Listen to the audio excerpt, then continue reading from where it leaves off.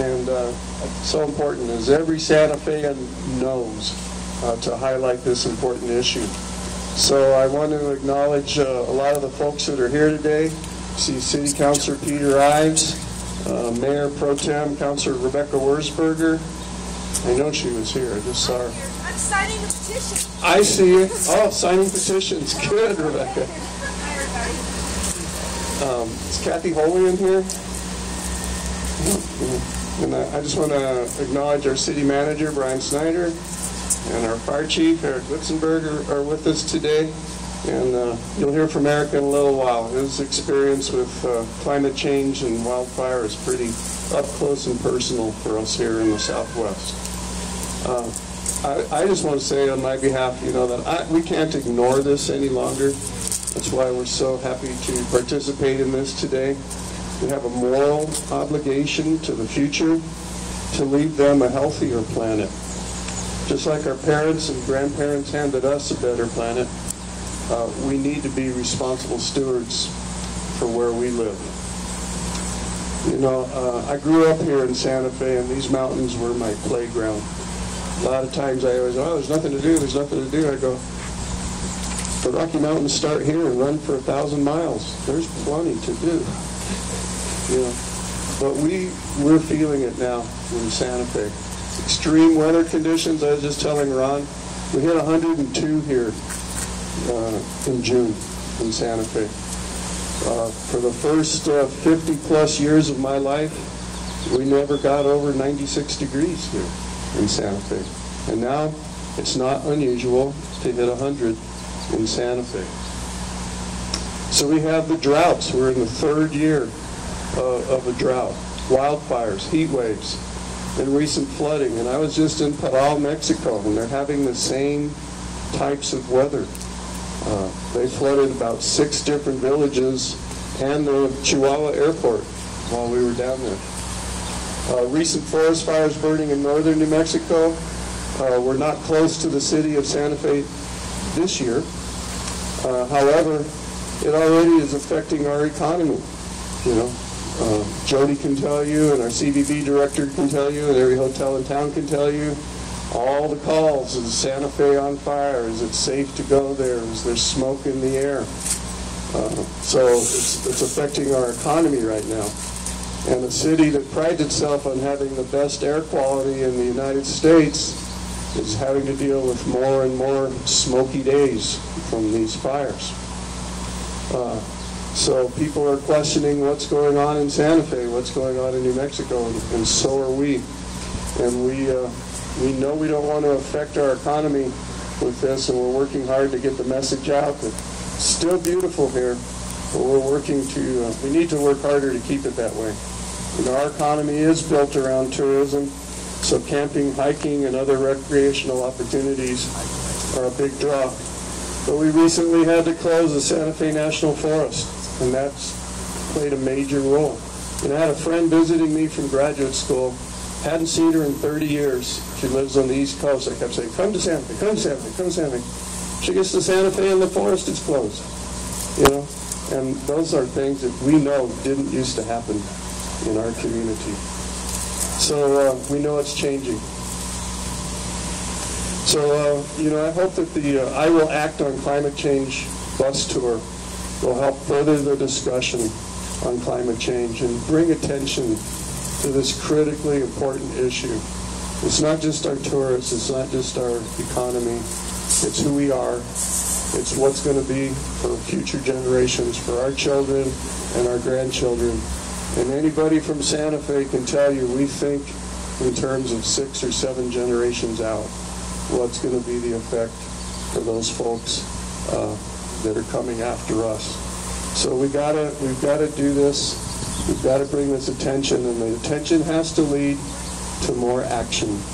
You know, Santa Fe has moved to uh, 20% of our municipal power supply is now generated with solar uh, solar energy.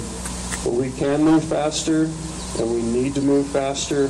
And whether the regulatory or uh, other types of obstacles are in our way, we need to get them out of the way, and we need to move faster for the sake of our grandchildren and our great grandchildren and for these this fantastic landscape that we've lived in for more than 400 years now. So enough for me. Here's a, we have really an expert here with us in the form of our fire chief in fighting wildland fires and uh, what those impacts are having on our forests, on our communities, and on our firefighters. So please welcome uh, Fire Chief Eric Litzenberg to say a few words. Thank you, Chief. Thank you, Mayor Coss. Appreciate it. So, yeah, I was asked to speak. Um, someone determined I might be uniquely qualified to speak to this issue, and I think I can speak to part of it. Growing up in Santa Fe, I can remember what kind of impact wildland fire had on me as a youth. And I think I can count on one hand the number of fires that were memorable for some reason or another. I think probably even more significant. Every year going up to Bandelier as a school kid, we would see the, the burn scar of the 1977 La Mesa fire. And I remember what kind of impact it had on me. But the number of fires in total, I think I could count on one hand. The truth is, things have changed. And in 2000, the Cerro Grande fire really redefined what fires mean to our community. And it keeps happening. In 2011, Los Conchas redefined it once again. And it was redefined once again with the Whitewater Baldy Complex of 2012. I think yearly now I can count on one hand how many fires of significance happen that affect the city of Santa Fe and our community. So the times have really changed. The truth is, wildland fire is becoming part of what defines us as a region. Arizona, Colorado, Texas, and New Mexico have all had the biggest and most destructive fires in our recorded history in the past five years. Again, I'll say things are changing. To give you a perspective, the six worst seasons nationally have happened in the last decade. So the last decade has really been this redefinition. In the 1990s, on the federal level, a wildland season would cost in the neighborhood of $1 billion annually. In the last decade, that's risen to $3 billion annually. In 2012 alone, over 9.2 million acres were destroyed by wildland fire. And that caused over $1 billion in damage. So the significance has risen. The impact from wildland fire, as Mayor Coss was saying, is not just from fire itself. On an annual, every, every summer, now we have a blanket of smoke, whether it's because of fires on our hillside right here outside of Santa Fe or fires as far away as Arizona and Mexico, we're blanketed in smoke. And we have health issues. And we have people calling us saying, is it safe to travel to Santa Fe? Will I see the real Santa Fe in this smoke? Our answer is yes, but the truth is it does have an impact on us as a community and on our economy. And then there's the flooding. After fires, that's not the end of our issues. We use the example of the orchard, the Dixon Apple Orchard, just south of here. It made it through the fire, but months later, in the monsoonal rains, was decimated by the floods. Or a more recent example, pretty much every afternoon right now, Pecos is getting getting smashed with a, a, flood of black mud and debris from the fire that occurred months ago in Tres Lagunas. So really, it's not just the fire. There are many impacts on Santa Fe, on us as a community, and on our economy. The changes in the wildland world are evident, and we as a profession have been struggling to meet those changes. I submit to you that it is a good time now for us as a community to change our behaviors and policies to really address this new paradigm. I do thank you for your time. I thank all of you for your commitment to Santa Fe, and uh, thank you. Mayor Coss.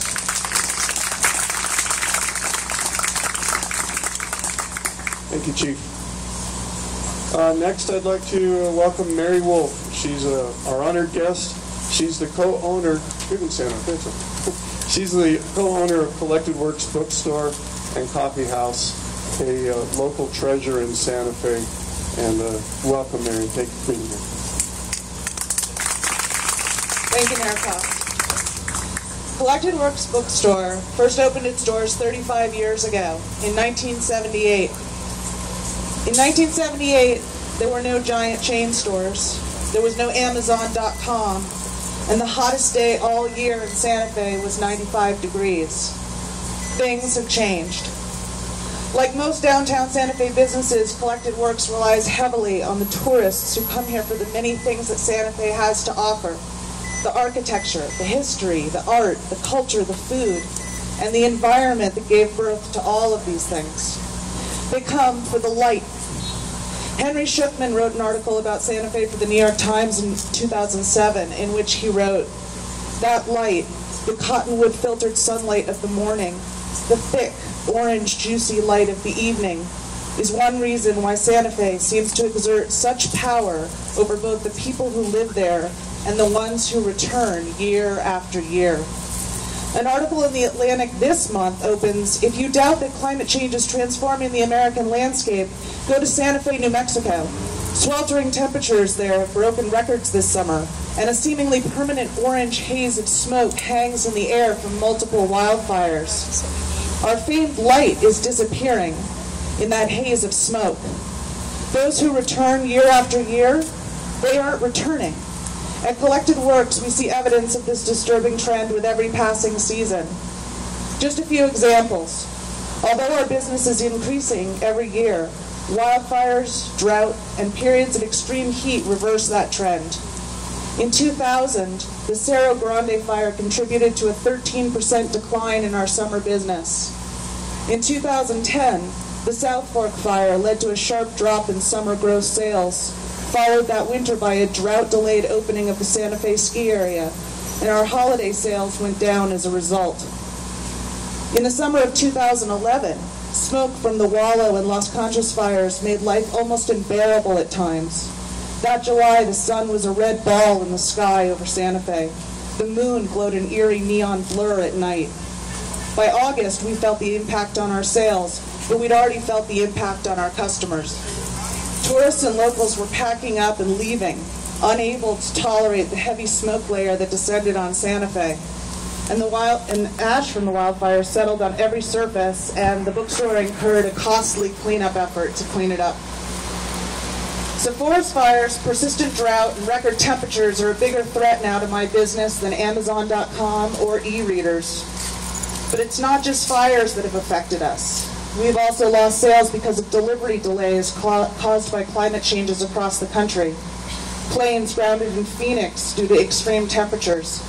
Devastating tornadoes across the Midwest, crippling floods and snowstorms on the East Coast. For businesses like Collected Works Bookstore that survive by offering superior customer service, superstorms are now a bigger concern than superstores. Collected Works has joined the Santa Fe Green Chamber of Commerce, an organization of businesses that are addressing these issues on a local level. And I urge Santa Fe businesses to join the Santa Fe Green, Green Chamber of Commerce and um, help the fight for businesses in Santa Fe. But although I'm here today as a business owner, I'm more importantly here as a mother. My three-year-old son doesn't yet know what we've done to this planet.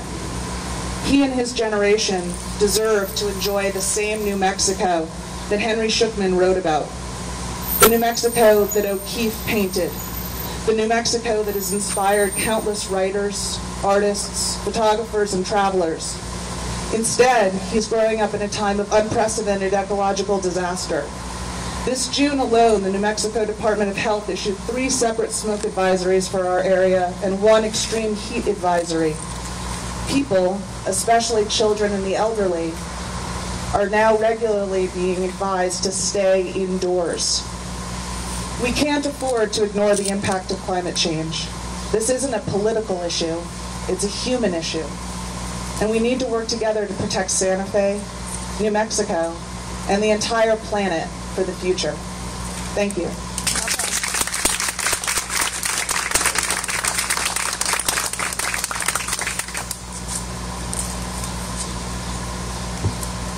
Thank you, Mary. That was pretty eye-opening, wasn't it? Uh, next, I'd like to uh, have another guest, uh, Dan McCarthy, owner of Santa Fe Mountain Sports.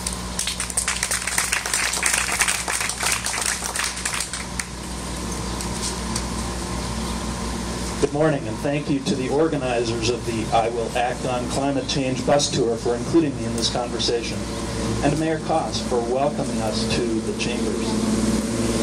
My name is Dan McCarthy, and I'm co-owner of Santa Fe Mountain Sports. We're a small retailer specializing in bicycles in the summer and skis and snowboards in the winter. For obvious reasons, fires in New Mexico hurt our business. Who wants to buy or rent a mountain bike when they're being told to stay inside because the air quality is so bad from the smoke from nearby wildfires? But fires are just one part of the story of climate change here. Pajarito ski area across the valley in Los Alamos lost 20% of its acreage and two chairlifts to a fire two summers ago. The root of the problem is the cause of these wildfires from climate change. The result is drought, increasing temperatures and decreasing amounts of snow, as well as moisture in the forests. As a kid in the 70s, I remember Ski Santa Fe opening regularly on Thanksgiving or even before, with tons of natural snow blanketing the mountain. The new norm is for them to open three or four weeks late with a strip of man-made snow on one run, which we jokingly refer to as the white ribbon of death. Yes, our business is affected year-round by climate change. The negative economic impacts on Santa Fe and the state of New Mexico are huge. Even if your businesses aren't directly related to tourism, the health of our economy is, and that hurts everyone. The challenge as I see it is to educate and inform the people. I applaud the efforts of the people on the bus tour because it has to start with individuals. Ultimately, it's big industry polluters and the utilities that need to change. But first, we need to get the message across that climate change is real and that you can do something about it. The repercussions of our inaction will cost more in the long run, and the legacy that we leave our children will be irreversible. We must act now. Thanks for having me. Thank you, Dan. Let me just be mayor for a second. So you got to check out these stores while you're in San Francisco. Great stores. Uh, You know, our next honored guest is Mariel Nanasi. She's the executive director and president of New Energy Economy. And that's her sign over there. It says soul, not coal. So, Mariel.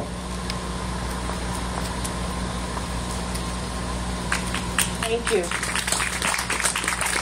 Thank you, Mayor Coss, and thanks to all the organizers who helped make this bus tour possible. I will act on climate change. I will act on climate change. And actually, that's what happened to me personally. I went and I went to a conference and I knew about climate change, but I didn't really understand the urgency of it. And when I when I realized the urgency, I thought, how can I look at my children in the eyes, in their eyes, and say that I didn't do anything that was in my power to act on climate change? So I encourage you all to act on climate change. Where does our electricity come from? Do people know? When we flip that switch, 60% of our electricity comes from coal, 20% comes from nuclear, 14% from natural gas, 4% from wind, and 1% from solar.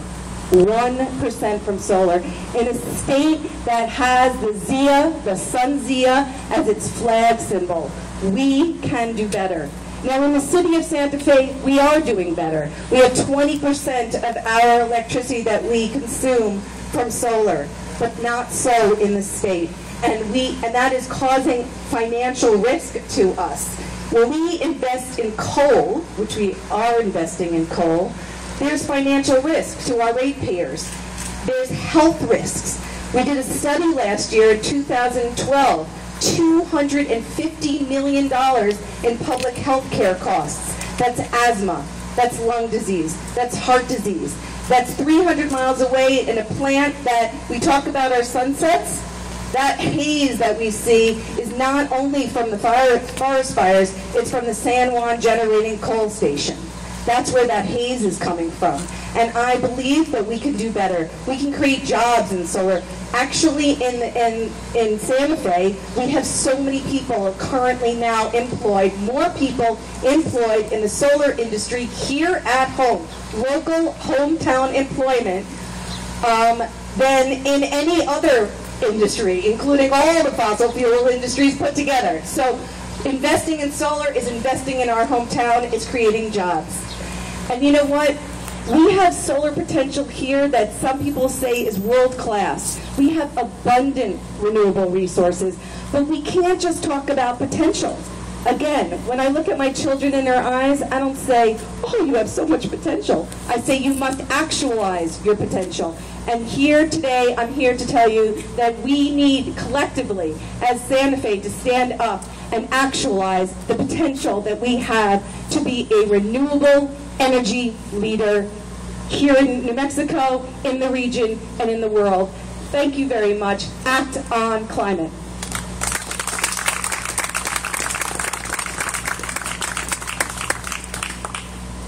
So now batting cleanup. I want to introduce former Santa Fe City Manager, He's been my boss twice. he was city manager, and before that, he was deputy secretary of the Environment Department when there was first an Environment Department under Governor King. And uh, then he was New Mexico Environment Cabinet Secretary for Governor Bill Richardson. Uh, now he is the first, this, this only resonates in Santa Fe, but he's the first non-Texan administrator to, see? Santa Fe loves that. He's our administrator for the Environmental Protection Agency, South Section, South Central Region, it's called Region Six, right? It used to be. So, uh, you know, he's a good friend of Santa Fe, good friend of New Mexico. He's always, for the 20 years that I've known him, been a fighter for protection of New Mexico's environment and New Mexico's communities.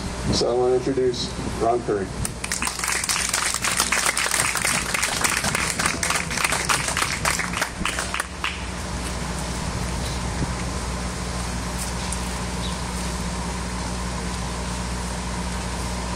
Well, I wanted to thank everyone for being here today. This is a great event. I have a lot of memories in that building over there. Some of them good. Some of them are good. but I have a lot of memories. That's the important thing. And I'm very excited to be here and see so many friends that I've worked with in the past and look forward to working with you in the future. And as you were reminiscing about how things have changed in New Mexico, one of the things that first came to my mind was when the fires took place up in the Baldy. One of the first experiences that I had of northern New Mexico, being that I was born, I'm a native New Mexican from Hobbs, New Mexico. But one of the first experiences I had was going up to Baldy on a horseback ride and camping up there when I was about seven years old and fishing up there. And now to think what everything looks up there now from the photographs that I've seen is a devastating thought.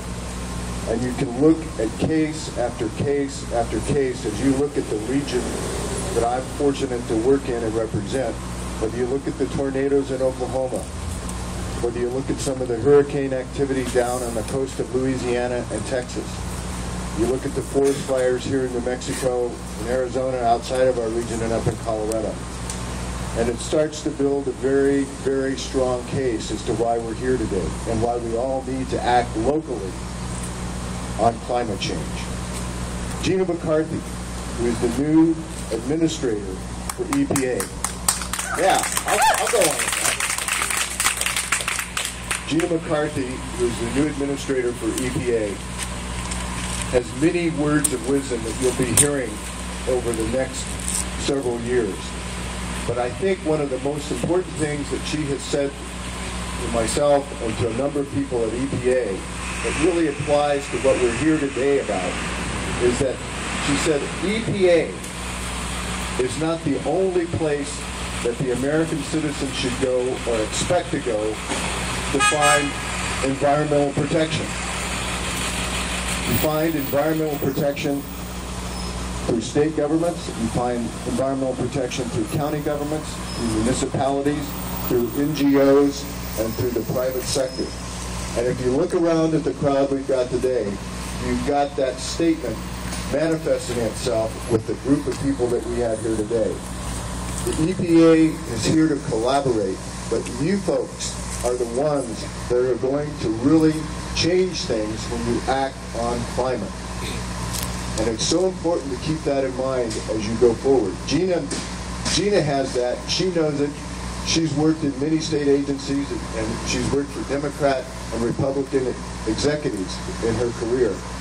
But she wants us all to understand that, and it's important for EPA to understand that part because we have to be able to collaborate and find solutions that work for climate. Gina, in her term as administrator, is going to focus on climate change with all the many things that we have happening at EPA. But it, that is the premier thing that she will spend her time on. As we come back to New Mexico and to Santa Fe, I think of some of the results of fires, as the chief was talking about.